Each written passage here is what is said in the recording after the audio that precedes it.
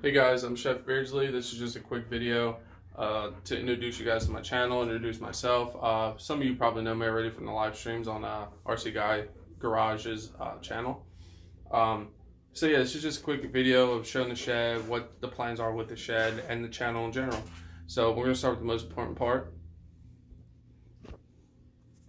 which is the beer fridge. Um, everybody needs a good beer fridge, and this one's probably 35 years old and still going strong.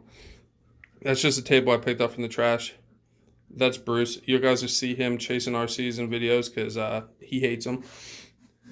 But uh, I got all my transmitters up there. That's that right there is a uh, starter for the Savage. Um, I will be getting a FlySky Noble. I went to order it the other day, but uh, they're all sold out. I am gonna get an email when they get back in stock, so I will be getting out on the channel. I will be unboxing it and doing a full review. Uh, I'm really excited about that radio. I have high hopes for it, so hopefully I can get my hands on it soon. My little solder setup, my uh, brake clean, which I swear by. I love brake clean. Um, this is just a little container just to keep spare parts and manuals and all that stuff. So a little tool wall right there. That's a, um, a brand new 3.3 motor has never been run. That's a 2.5 motor from my original Revo, and that thing has at least 25 gallons of fuel through it. Never rebuilt, nothing. I guarantee you that'll start. I'm gonna do it on video one day and show you guys that that thing. I don't know if I got diamond in rough, but that thing is unkillable. Uh, spare parts, tools. That uh, Ryobi driver is pretty legit. I do enjoy that. I almost like that as much as I like the beer fridge. Um, on the bench, I got the Mini Revo. I have a few upgrades on it. I got the cooling fins on the motor. I got uh, RPM parts all the way around it. Uh, the metal push rods, all that stuff. Um, these are Proline uh, beadlocks, Dirt Hawgs, I think they're called the tires.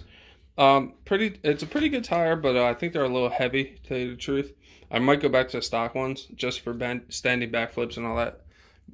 Um, let's see, we got some upgrades for my DBXL uh, two-stroke, which is inside. It's not in the shed yet because I got some plans for the shed. Uh, I'm gonna replace them with uh, the bearings with uh, sealed bearings. Um, we got the diffs, uh, aluminum diffs. I'm gonna put in there. I'm waiting on the diff covers to come in. They should be here soon, hopefully. Uh, I just got the kill switch in, aluminum chassis braces. Um, all the outer wears don't want uh, dirt and all that garbage to get in there. So uh, there's going to be videos on all that. I'm going to be uh, doing like an upgrade uh, video for all that stuff. There's uh, little containers just to hold some little parts and stuff, which were actually come in handy. I picked them up at a dollar store, just screwed them right to the wall. Uh, that motor came from the trash.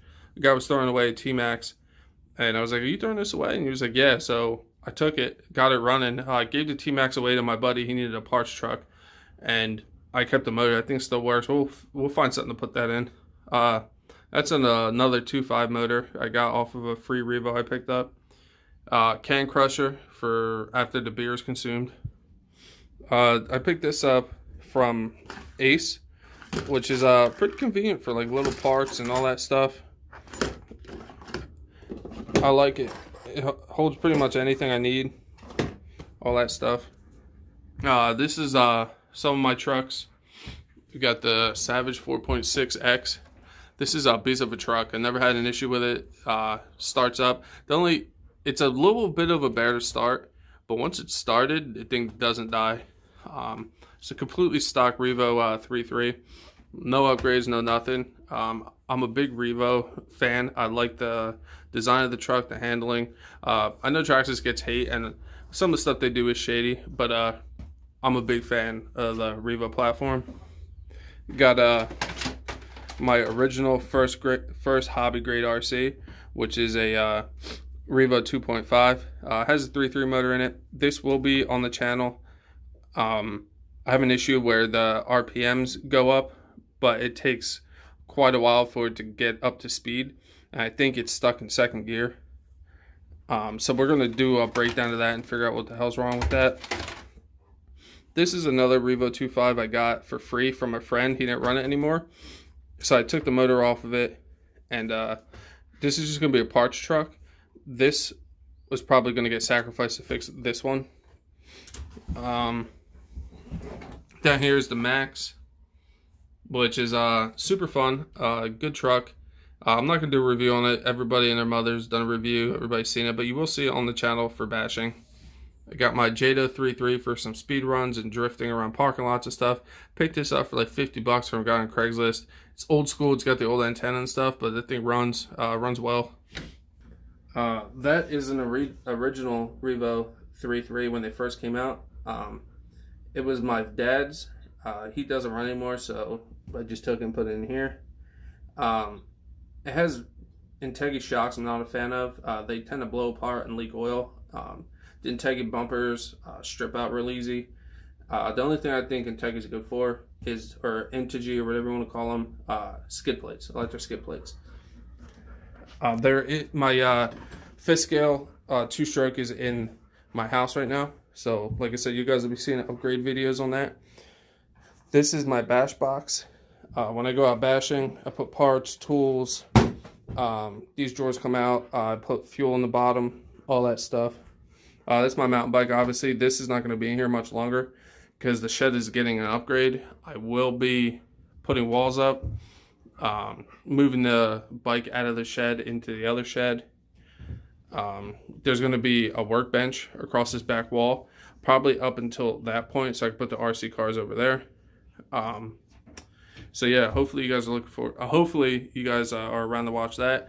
I got, I'm to be running an ethernet cable, which actually will be probably my next video from up in this direction where my shed is, I mean, where my house is.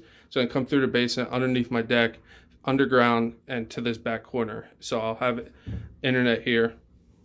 Uh, that series of upgrading my shed is going to be called Blood, Set, Blood, Sweat, and Beers thanks to RC uh, Guy Garage for that awesome name. He told me I can use that.